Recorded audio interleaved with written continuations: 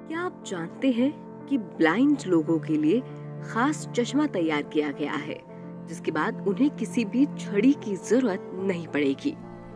यकीनन आपके मन में सवाल आ रहा होगा कि चश्मा किस तकनीक पर काम करेगा? ब्लाइंड लोग इस चश्मे की मदद से अपने काम कैसे निपटा पाएँगे? आखिर इस चश्मे को किसने तैयार किया है और ये क्यों खास है? आइए जानते हैं।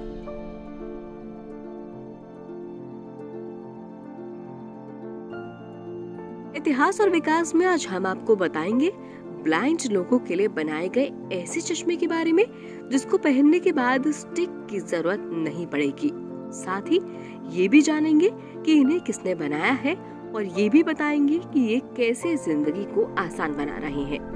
आप ये जानकर चौंक जाएँगे कि ब्लाइंड लोगों की मदद के लिए सिर्फ़ भारत में ही अब तक कई स्मार्ट चश्मे तैयार किए जा चुके हैं। इन चश्मों की मदद से ब्लाइंड लोग न सिर्फ़ रास्ते में आने वाली चीज़ों को पहचान सकेंगे, साथ ही अखबार और किताबें आदि भी बेहद आसानी से पढ़ सकेंगे।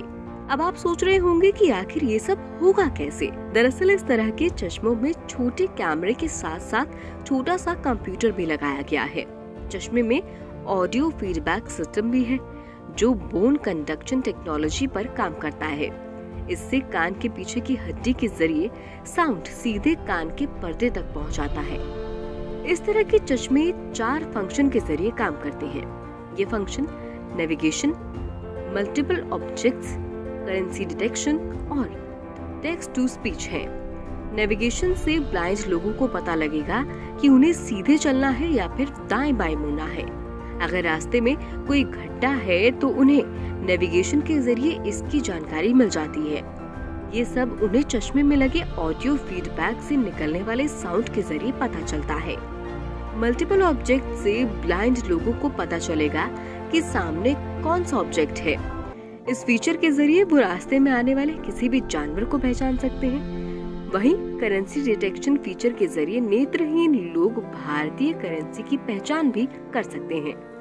टेक्स्ट टू स्पीच फीचर के ज़रिए ब्लाइंड लोग अखबार पढ़ सकते हैं। जैसे ही वो चश्मे के सामने न्यूज़पेपर लाएँगे, उनके कानों में हेडलाइन सुनाई देने लगेगी। इसके लिए इन चश्मों में हिंदी, तमिल, मराठी, कन्नड़ और अंग्रेज़ी सहित करीब पंद्रह भारतीय भाषाओं और फ्रेंच, इटालियन जैसी विदेशी भाषाओं में खबरें सुनने का फीचर दिया गया है। आप ये जानकर हैरान हो जाएँगे कि भारत में इस तरह के दो स्मार्ट चश्मे बनाए जा चुके हैं।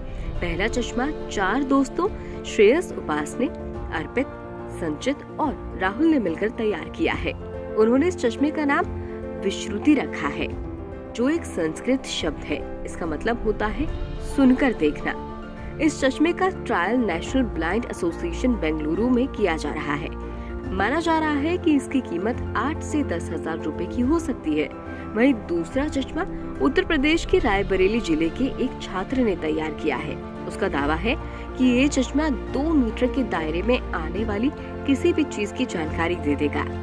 कुछ भी लिखा हुआ बिल्कुल सामान्य व्यक्ति की तरह पढ़ सकेगा। साथ ही इस चश्मे की मदद से ब्लाइंड व्यक्ति अपने परिचितों को बिना उनके बोले ही पहचान भी लेंगे। इस बारे में आपकी क्या राय है, हमारे साथ ज़रूर शेयर करें। साथ ही इस तरह की दूसरी रोचक जानकारियों के लिए हमें फॉलो करते रहें।